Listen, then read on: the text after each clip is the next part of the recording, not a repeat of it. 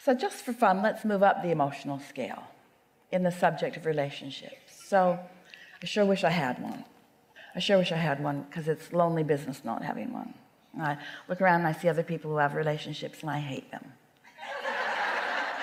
Wouldn't it be nice if I was inside of a well created, well intended, well exercised vibrationally relationship? Wouldn't it be nice if I could observe the aspects of my life and others and from it see aspects of things that I don't want and see aspects of things that I do want and note the difference. And wouldn't it be nice if every relationship, whether it's a personal, romantic, sexual relationship, or whether it's a friendship with someone, or whether it's a meeting of a stranger, every relationship, every relationship has positive and negative aspects. And wouldn't it be nice if I was so often tuned to the perspective of who I really am that I just saw the best in everyone. So even though I know that my vortex is full of all of these things that I've carved out that I want in a relationship, by my looking for positive aspects everywhere I look, I'm practicing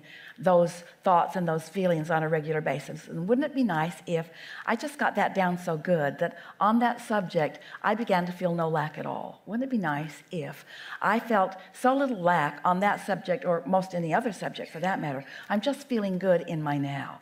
Wouldn't it be nice if everywhere I go, people are rendezvousing with me and together we are knowing that we are so much more than we were when we were singularly focused? Wouldn't be nice if I could consciously be aware of the vibrational, harmonic, cooperative component dynamics of interacting with other people, no matter who they are and no matter where I encounter them.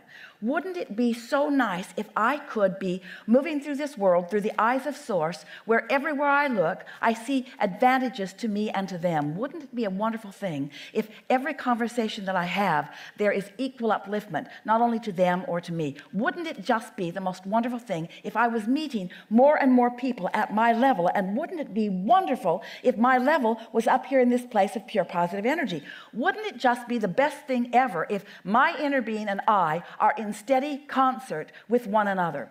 Not because my inner being is lowering my vibration, but because I am rising to the vibration of my inner being. And wouldn't it be just the best thing ever if law of attraction would match me up with others who have been doing this same work so that we are people who are in vibrational alignment with our own inner beings? And isn't it the most logical thing in all of the universe that law of attraction would bring another who is tuned in, tapped in, turned on to me who is tuned in, tapped in, turned on? And wouldn't that just be the most explosive dynamic relationship that I could imagine?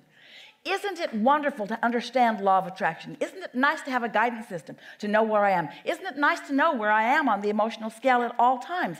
Isn't it nice to know that it doesn't matter where I am, I can get back there anytime I want to? Isn't it nice to know that I don't have to be there 100% of the time? Isn't it nice to know that I could be there 100% of the time?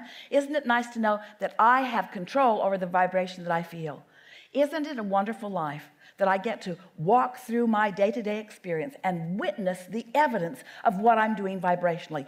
Everything in my experience, every relationship that crosses my path, every single person that I encounter, my relationship with everyone and everything is evidence of the vibrational relationship that I have accomplished with my inner being. I love being the deliberate creator of my own experience. I love knowing about vibration and focus. I love knowing about emotion. I love having this understanding of how it all fits together. I love being the deliberate creator of my experience. And I love teaching through the clarity of my example. I love knowing that what anybody else is feeling isn't about me. And I love knowing that I don't have to feel the way anybody else is feeling. I love teaching through the clarity of my example. I love hooking up with my inner being, just like I said I would walking this path together, focusing upon the things that matter, and taking thought beyond which it has been before. I love being on the precipice of relationships the way they were meant to be. I love having the vibrational relationship with my own inner being first and foremost. That's what's most on my mind. And then I love watching what comes next.